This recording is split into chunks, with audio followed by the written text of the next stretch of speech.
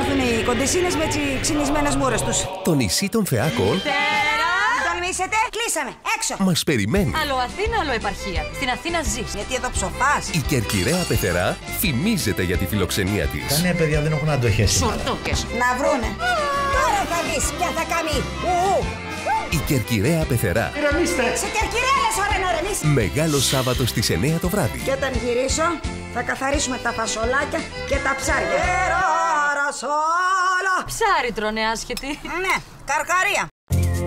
Μένουμε σπίτι.